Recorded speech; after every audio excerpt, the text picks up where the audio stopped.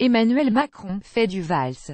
L'ancien candidat PS à la présidentielle Benoît Hamon, fondateur du mouvement Génération, juge sévèrement jeudi dans un entretien au Parisien la politique migratoire d'Emmanuel Macron, estimant qu'il a été valsisé et qu'il est malhonnête sur le sujet.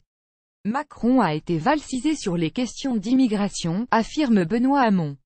Il faut reconnaître à Valls une honnêteté Macron n'a pas. Valls a dénoncé la politique d'hospitalité à l'égard des migrants portée par Merkel.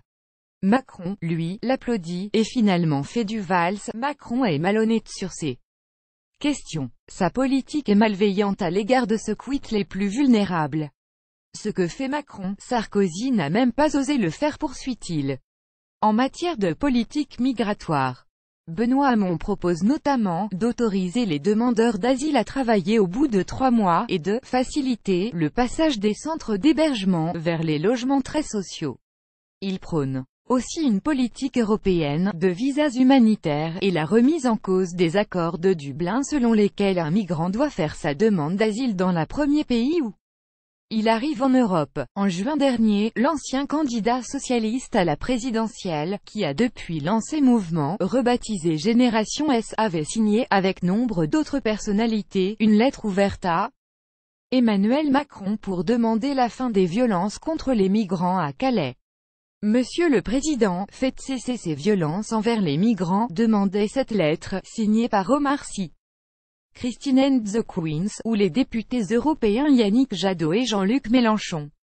Un tri inadmissible qui attente aux droits fondamentaux de la personne humaine. De leur côté, trois anciens ministres et secrétaires d'État ont écrit à Emmanuel Macron pour dénoncer un tri inadmissible des étrangers avec le recensement prévu dans les centres d'hébergement d'urgence, qui selon eux, attente au respect des droits fondamentaux. Imagine-t-on un centre humanitaire géré par une ONG laisser un gouvernement faire le tri des personnes à entrer pour déterminer les catégories de personnes pouvant ou non avoir accès à des soins médicaux? D'urgence, s'interroge Marie-Arlette Carlotti, actuellement présidente du Haut Comité pour le logement des personnes défavorisées, et ses prédécesseurs à ce poste Xavier Emmanuelier.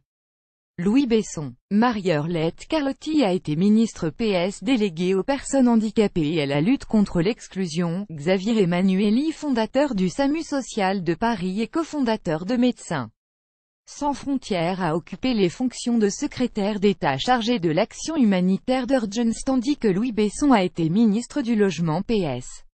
Cette mesure risque d'entraîner un important non-recours à l'hébergement d'urgence par les personnes en situation administrative précaire et la constitution de bidonvilles et de squats, affirme petit dans ce courrier daté de mercredi, martelant que l'accueil inconditionnel est un marqueur fort des valeurs de solidarité républicaine de notre pays. Conditionner ce droit fondamental à la situation administrative relève d'un tri inadmissible qui attente aux droits fondamentaux de la personne humaine, selon eux.